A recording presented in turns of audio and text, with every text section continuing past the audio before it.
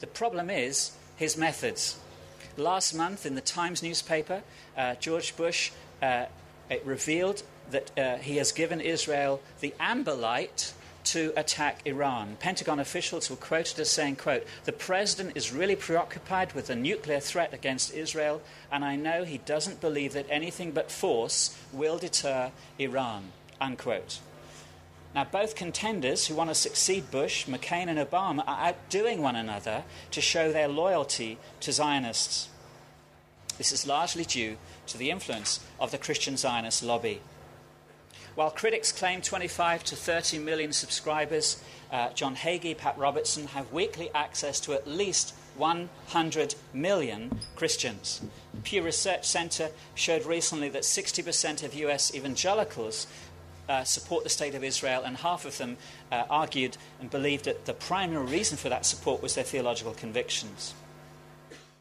Unity Coalition for Israel, founded in 1991, is the largest of these organizations. It is an umbrella movement for 200 different organizations, 40 million active members, 1,700 radio stations, 245 Christian TV stations, 120 Christian newspapers. The, the three largest Christian Zionist organizations the International Christian Embassy, Jerusalem, Christian Friends of Israel, and Bridges for Peace. A powerful movement? You bet. Christian Zionism is undoubtedly a dominant force shaping US policy in the Middle East. Now, in my second presentation tomorrow at uh, 10 a.m. in the Shine tent, I'm going to show you how the Bible repudiates Christian Zionism, and you won't want to miss it. We're going to look at what the Bible says about the future and about Armageddon, and we're going to ask the question do you want to be left behind? Now, I don't want you to lose any sleep tonight uh, because I don't believe Jesus is coming back before tomorrow. Why? Because it's already tomorrow in Australia. So, tomorrow we're going to look at the good news. Today, I've got to tell you the bad news, and it's worse than you can ever imagine. I want to highlight six ways in which Christian Zionists are applying their faith politically one, defending Israel, Two, assisting Jewish emigration. Three, supporting the illegal settlements. Four, lobbying for an exclusive Jerusalem as the capital of Israel. And five, funding the rebuilding of the Jewish temple. Six, opposing the peace process. I'm going to show you these six strategies are exacerbating tensions in the Middle East and they are hastening Armageddon. It's a self fulfilling prophecy. One, supporting Israeli colonialism, the conviction that the Jewish people remain God's chosen people, something, by the way, that's not stated at all in the New Testament. The church is described as God's chosen people. In some ways, separate from the church, is deeply rooted in Christian Zionism. Till the 1980s, if you're old enough to remember, US foreign policy was largely focused on countering the Soviet hegemony the protection of Western Europe with NATO was a higher priority than Israel. But with the collapse of communism and uh, a power vacuum created in the Middle East, US uh, influences have filled that vacuum. Following the Gulf War to liberate Kuwait, Afghanistan from the Taliban, Iraq from Saddam Hussein, the US has significantly increased its influence in the Middle East, and the rise of the pro Israeli lobby has gone alongside that. As a consequence, Israel in particular has become central to US foreign policy, not least since 9 11. And that uh, change in foreign policy has been strongly influenced by the Christian right. It's why you won't find a single serving US politician critical of Israel. It's political suicide to criticize Israel on anything. Let me give you one insight into this. Zeev Chafets, writing in the New York Times last year, said In the last eight years alone, an estimated 400,000 born again Christians have sent Rabbi Yechiel Eckstein about a quarter of a billion dollars for Jewish causes of his personal choosing. He went on to say, No Jew since Jesus has commanded this kind of Gentile following. One, supporting Israel, defending Israel. Two, restoration. How is that facilitated? Well, it is facilitated by assisting the return of the Jewish people to Palestine. With the fall of communism in the former Soviet Union and Eastern Europe since 1980, a coalition of Christian organizations have been actively working in Russia and Eastern Europe assisting and encouraging Jews to make aliyah, to, to leave and move to Palestine. Uh, Exobus was the first organization, 1991. It was first called the Good News Bus Travels Company. Hard to sell in Hull, where it came from. So they changed their name to Exobus. It sounds much more, uh, uh much more sexy, if you like, Exobus. It's facilitated 56,000 Jewish people to emigrate to Israel in close cooperation with the Jewish Agency. Since 1991, the International Christian Embassy has paid for 40,000 uh, Russian emigres to move to Israel. The problem is they are being located in the occupied territories, they are displacing Palestinians. They will identify Jewish communities in Russia. They will show them films of idyllic life in Israel. They will uh, pay off their debts, uh, pay for their exit permits, uh, for documentation to prove their Jewish origins. They'll provide passports, debt repayment, transport, accommodation. They will assist them to resettle in Israel and the West Bank. Uh, they will provide food, clothing, kitchen, school supplies, as well as medical equipment the facilitation of uh, Jews leaving Russia and Eastern Europe and moving to Israel is being facilitated by Christian, misguided Christian organizations.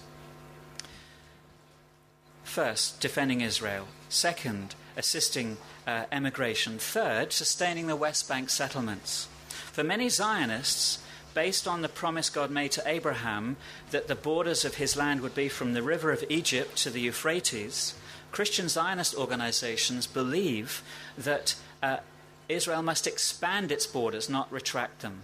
And therefore, they defend the settlement program and they justify the apartheid separation wall. The conviction that the entire West Bank is integral to Israel has led many Christian Zionists to adopt settlements. Now, you may think this is a crazy idea, but if you're the pastor of a church with 18,000 members, the idea of adopting a settlement of 500 members sounds pretty easy, doesn't it? You can sponsor a settlement quite easily with a church that size. 39 of the settlements have been adopted by over 50 churches in South Africa, uh, in Holland, Germany, Philippines, and the USA. They show solidarity by funding the settlements, visiting them, praying for them, uh, defending them, justifying them. So, for example, under Carter, the settlements were illegal. Under Reagan, they became an obstacle to peace. Under George W. Bush, they are now Israeli neighborhoods to be retained in any final status agreement. Fourth, Jerusalem, lobbying for international recognition. At the core of the Christian Zionist support for Israel's claim to the occupied territories lies the conviction that Jerusalem must remain exclusively and undivided the Israeli capital. If you know your geography, you will know that there are no embassies in Jerusalem. The international community does not recognize Jerusalem as the capital of Israel, notwithstanding Marks and Spencer's Atlas, which shows Jerusalem as the capital of Israel. So the Christian Zionist lobby is seeking to change world opinion and uh, facilitate uh, Jerusalem becoming the capital of Israel. How are they going to do that? Very easy. You need $100 million and one and one bill through the, uh, through the US Congress to move the US Embassy from Tel Aviv to Jerusalem. That's all it will take. Uh, in 1995, Senator Bob Dole, who led the crusade to achieve this, said Israel's capital is not on the table of the peace process. Moving the U.S. Embassy to Jerusalem does nothing to prejudice the outcome of any future negotiation. That's pretty Orwellian in its logic. It's entirely opposite. It prejudices everything because it destroys an independent, viable, contiguous Palestinian state. If you take Jerusalem out of the ingredients, there is no Palestine. Senator Bob Dole went on to say Jerusalem is today, as it has always been for 3,000 years, the heart and soul of the Jewish people. It is also and should remain forever the eternal, undivided capital of the State of Israel. The time has come to enact legislation to get the job done. Three occasions, Congress has passed legislation to do that. Three times, successive US presidents have refused to sign off on the legislation. But it's a question of when it will happen, not whether. Give you an insight. The International Christian Embassy sponsoring adverts in the New York Times called Christians to support a united Jerusalem. United meaning exclusively uh, Israeli, not united in the way we would understand.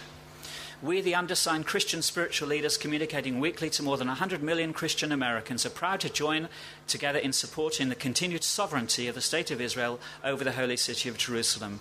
We believe Jerusalem, or any portion of it, should not be negotiable in the peace process. Jerusalem must remain undivided as the eternal capital of the Jewish people. You hear this mantra all the time, but notice how they end their advert.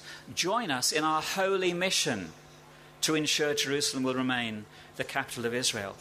Moving the US Embassy to Jerusalem is a holy mission because they believe it's fulfilling God's agenda. However, even more critical to the Zionist reading of prophecy, many Christian Zionists believe the Jewish temple must be rebuilt on the Haram al Sharif in place of the Dome of the Rock. And you will find uh, many Christian Zionists supporting and facilitating this to take place. And their hero within the Jewish community is a guy called Gershon Salomon. He's the founder of the Temple Mount Faithful. Uh, you might like to get onto his email list and find out what they're up to. The Temple Mount Faithful uh, is committed to destroying the Dome of the Rock and rebuilding the Jewish temple, and the Israeli High Court has given them permission to lay the foundation stones. Twice a year, they try and take an articulated lorry uh, into the, uh, through the Dung Gate into, uh, into the uh, plaza uh, below the, the Temple Mount area to lay the cornerstones. This is what he said at the International Christian Embassy gathering recently. The mission of the present generation is to liberate the Temple Mount and remove, I repeat, to remove the defiling abomination there. The Jewish people will not be stopped at the gates leading to the Temple Mount. We will fly our Israeli flag over the Temple Mount, which will be minus its dome of the rock. It will only have our Israeli flag and our temple. This is what our generation must accomplish. And in the Times newspaper, he was interviewed uh, and he insisted the Islamic shrine would be destroyed. He said this quote in the Times newspaper, uh, hardly a, a left wing radical newspaper.